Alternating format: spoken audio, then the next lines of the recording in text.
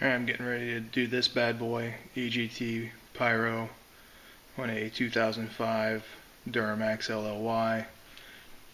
Uh, it goes with, into my Edge Evolution CS. And so, tools I got laid out. Drill, extra battery, one Alaskan free ride, free ride American Pale Ale with bottle opener, eighth inch drill bit, 2164 bit, a couple magnets, hammer at the punch, 1 8 NPT 27, and a flat tip screwdriver. My Edge Evolution CS. There's the probe and jack and stand. And it's going to go back in here on this filthy truck of mine. Alright. Already have the hood popped. So, I'm going to start getting it prepped, get it jacked up, get this tire. Alright. Getting a look inside here, I got that wheel well liner removed. Uh, that was not fun nor easy, and it was full of dirt because um, I live in interior Alaska uh, along a bunch of dirt roads. So, looking in here, uh, here's where it's going to go in. This is the exhaust manifold. I'm going I'm to tap it right here. And that's where we're going to go ahead and start putting this in. Uh, so I'm going to turn off the camera, get out of the way, take a swig of beer, and, and get to work in there. Kind of see where I'm at right now. I keep it coated in WD-40. Put my light on there. I've got a 1 8 inch pilot hole drilled. Alright. And the whole time keeping it lubed with WD-40 and I use this big magnet and I'm keeping all the shavings off as I'm going. Alright. So you see got some metal on there now.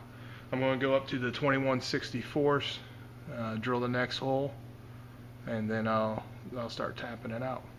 All right, you can see back there the 2164 hole is drilled. Uh, dried off around the hole. Uh, majority of metal shavings are gone. I'm going to go get the rest of them, and uh, then I'll start tapping. All right, so now I've drilled and I'm going through with my magnet. I'm making sure now I got all the shavings out. All around the hole. Around the bottom of it. I've, I've done this about 10 times. So, keep on doing this.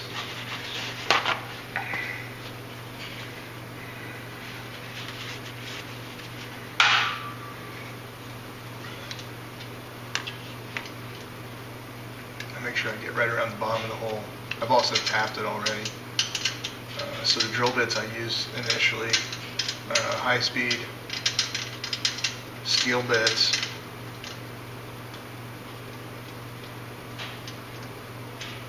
First one was a 1 8 inch for the pilot hole. And then I went to the 21 64th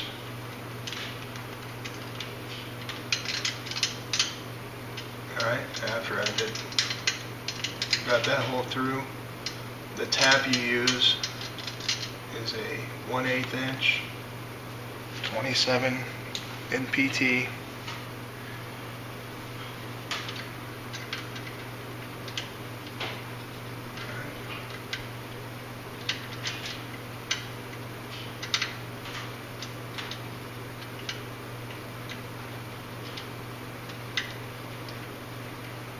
tapped it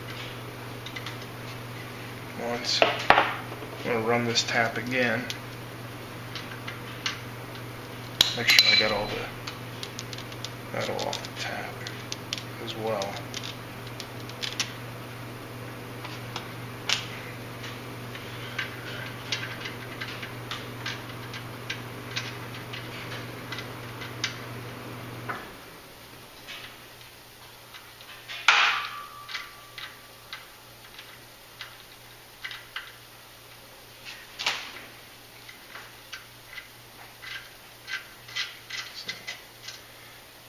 to the.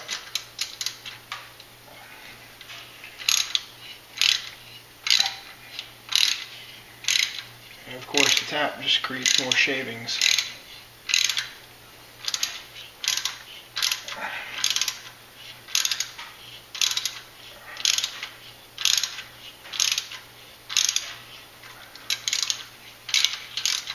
So yeah, back it out a little bit and you start going back in.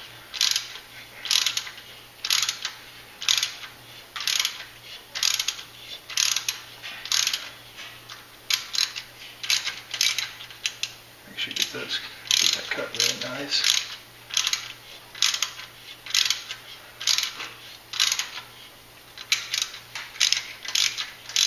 After you back it out, and then you start it back through, this cuts, cuts through real nice. So no issue cutting through.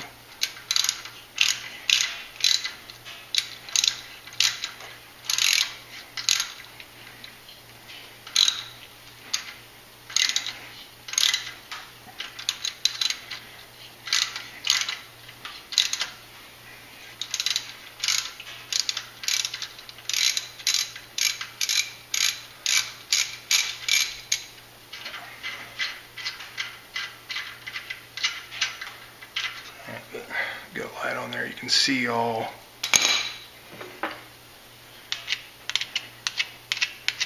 all the shavings you get in your tap. And that's not counting all of them. They go down in the hole. It's really quick in here. I'm gonna- Oh yeah. See how that's goes in there really nice. Alright. So I got the whole tap really, really well now.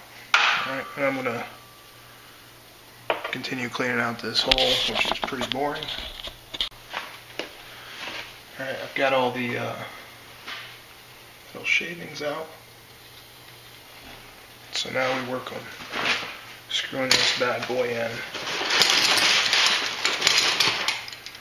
And there it is. It's a 13 millimeter, is what they say on the packaging. They're wrong. It is not 13 millimeter.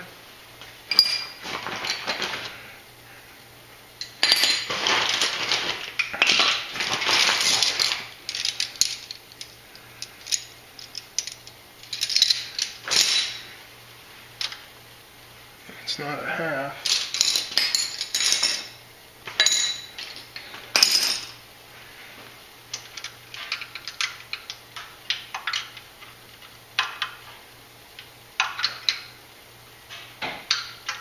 That's a 9 sixteenths, but really.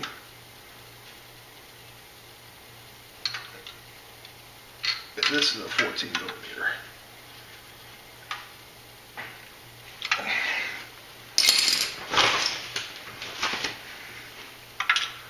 There's my 14.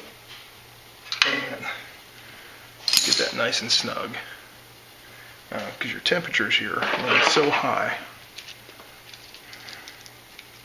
What it's really going to do is it's going to fuse that into the exhaust manifold.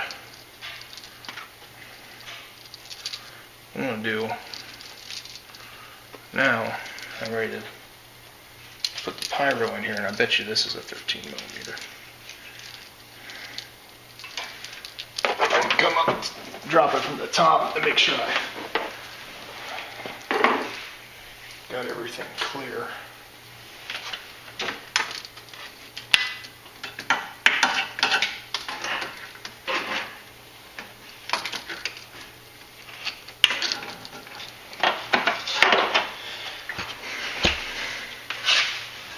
I want to run it, you know, and make sure it's running along that wiring loom.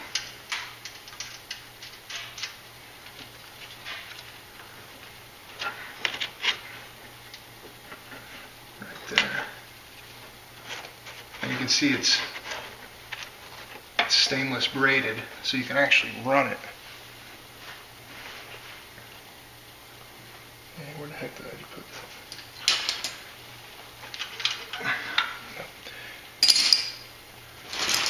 So I found a little fault in edges instructions there that say 13 millimeter. It's actually 14, both of them are. Alright, so that's in tight. Looks pretty good. And what I'm gonna do is I'm gonna I'm gonna zip strip it a couple times, and I'm gonna close up this wheel well, uh, put the tire back on, and then I'm gonna start putting it together. Uh, routing routing the cable, make sure it's tied up and secure the whole way through. So I'll get you back. Alright, so the pyros come up.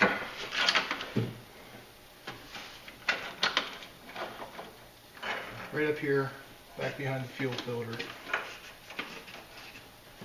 So what I kind of do is try to get it to run. Not where that piece of plastic is. Uh, I'm gonna run it right along underneath it here and find a way to clamp this off. Alright. Because the braided piece is going to get me across the engine. That's, that's what we really want. So the braided piece will get me across. And where this is going to feed, I can move this thing, uh, right there behind the brake master cylinder is a boot that goes through the firewall into the cab. So that's where I'm going to take this in through. And uh, I'll make sure it's through before I start tying it all down so I make sure I got any slack picked up on, on either end. I wasn't doing such a hot job of getting it. Uh, there's a boot right down there.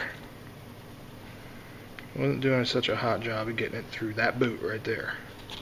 So what I did is I ran it right along the edge of the body here. Right, right through here. I come along and open the door. Run the cable right down and I run it into that boot. Run it right up the side. And that's actually a cable going to my GPS right here. Right there I run the EGT.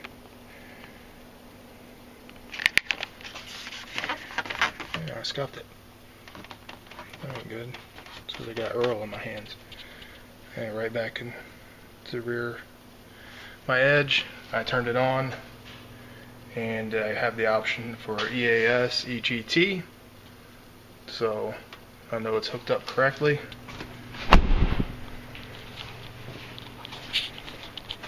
I'm just going to finish tightening that, that cable up in there. Make sure it stays up and out of the way. There's my other engine mod I've done. Put the LBZ uh, mouthpiece on it with the stock LLY air box. My air temperature at the intake manifold is about 3 to 4 degrees above ambient. I don't need a cold air intake. Um, I don't think it's really going to make me a difference. I think that mouthpiece makes all the difference in the world for me. So there we go. And hope this helps. It's a lot of fun.